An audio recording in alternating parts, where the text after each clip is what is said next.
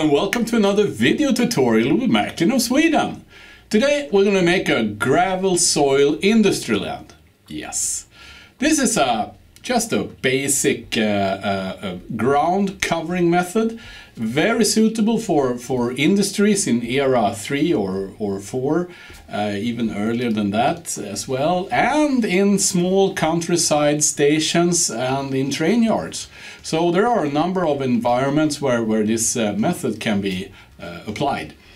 I will also add like static grass and stuff in the in the in the edges of this area to uh, to like frame it frame it in so you get the kind of a nice look you're you're you're looking for so uh, nothing to wait for. Let's get started. This is the area I will work with. It's a styrofoam base area but it could also be wood. I start off by plastering. Then I use uh, tools for plastering. The purpose with the plaster is to get a smooth and level area to work with. Once the plaster is in place, I leave it to dry and go outside to look for gravel. It could either be found here or here. The size gravel we're looking for is like dust, so very very fine. And we do not need much. And then I pour it through a sieve. This is a standard sieve for uh, household uh, cooking. And then I get the finer gravel. Now, this gravel was kind of wet and tacky, so I want to dry it a bit before I run it through the finer sieve. This time I will run it through a nylon sock.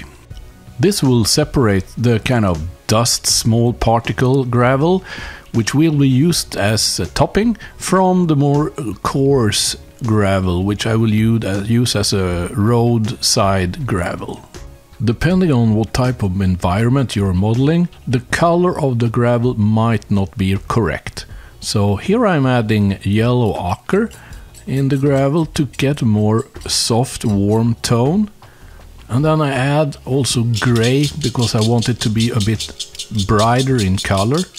Once the gravel has uh, the desired color, I pour it into a little can, which is suitable for application later.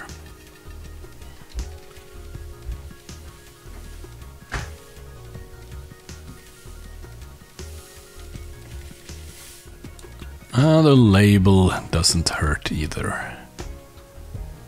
The more coarse gravel is put in another container, which will suit as mixed side roadside gravel.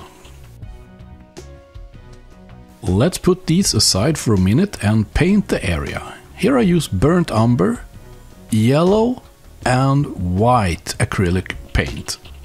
I mix the three colors until I have a kind of ugly brownish yellow tone and then I add both a bit of water and also wood glue, PVA glue.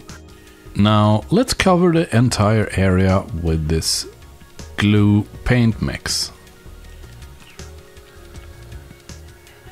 Then it's time to put this fine topping in place.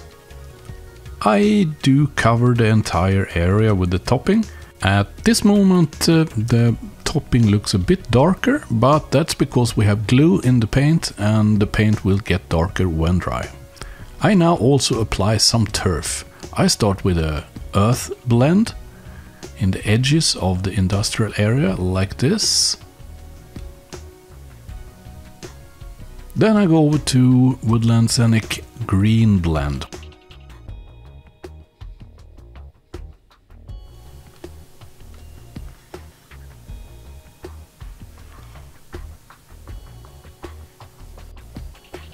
Once this done, I use a big soft round brush and I push the turf into the glue paint mix like this.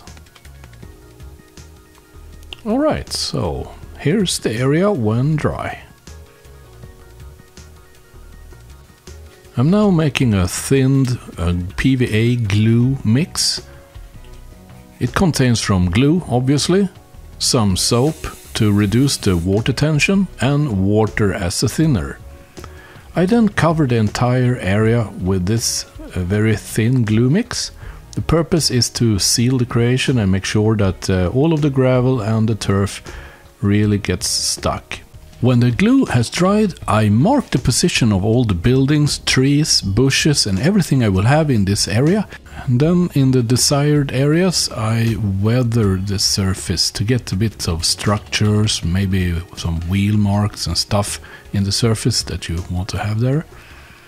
Once that's done, I apply static grass, first in turfs like this, and then around the turfs some lower grass like this.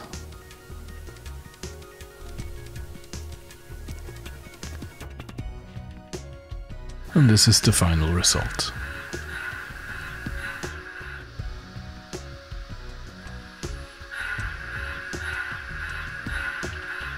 Well, so with these uh, six components, it's like uh, three types of static grass, the gravel, and some uh, bushes. You will get pretty far down the road getting a realistic ground covering for your industry sites. Uh, if you like this video, please help me by giving it a thumbs up. If you want to see more of the videos, uh, subscribe to the channel and you will get a notification once next video goes live. Until that happens, see ya! Marklin of Sweden is also available on the following media platforms. mrrtutorials.com complete video listings sorted under topic. Facebook. Here you find the latest and greatest with Marklin of Sweden. All new videos are also published here. Instagram. Snapshots from the miniature world. Pinterest. Links to cool miniature stuff. And Google+. Here you will also find the latest and greatest as well as new video releases.